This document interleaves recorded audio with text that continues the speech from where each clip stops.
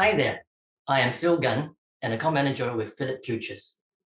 Today, I'll be giving an update on the US market and we'll be discussing the S&P 500.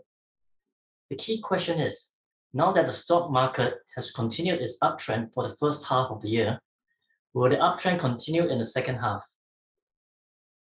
President Biden has unveiled his 2022 budget proposal, which called for US 6 trillion in spending, 36.6% higher than the pre-COVID-19 spending plan of US 4.4 trillion in 2019.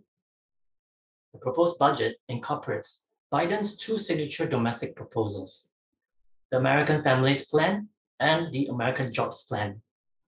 Biden's proposal also calls for higher tax rates that will be retroactive to April, but is expected to face strong opposition in Congress as Republicans remain firmly divided on this plan. US Treasury Secretary Janet Yellen told G7 finance ministers and central bank governors that it was important to provide further fiscal support to promote a robust and lasting recovery in the wake of the pandemic.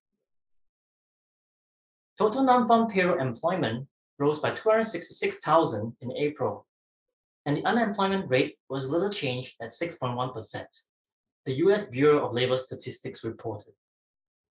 Federal Reserve Chief Powell said the Fed doesn't have to raise interest rates on worry that inflation will pick up from the strong growth and job creation. We can afford to wait to see actual inflation appear before we raise interest rates, Powell said. Hence, Fed will likely keep policy rates at the current 0 to 0.25% region at least until end 2022. Since the breakout of the pennant in November last year, S&P has been on an uptrend the 50-day MA trails nicely behind as the uptrend remains intact as of now.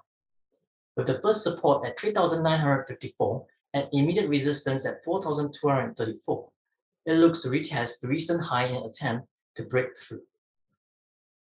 On the downside scenario, in the event that there is an impulse drop and the support level 3,954 breaks in one fell swoop, it is likely a volatile period will ensue and probably a deeper correction to 3,728 level. However, the likely scenario is that uptrend will resume. This is shown as a series of corrective retracement where the immediate trend line is broken, but the ascending triangle pattern continues. If an impulsive breakout happens, the next target level will be about 4,392. So trading stock indices CFDs allows you to trade both directions of the market. You can short sell the market if the market undergoes a correction phase, or you can go long in the market if the resistance is broken and the uptrend continues.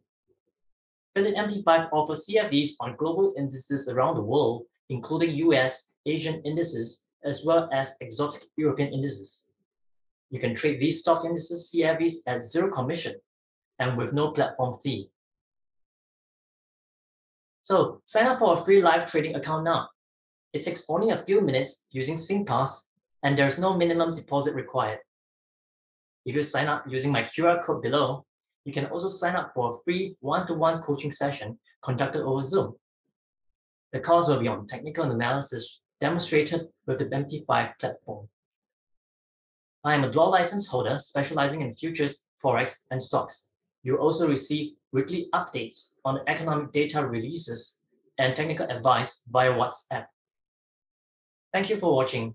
I look forward to onboarding you on this trading journey.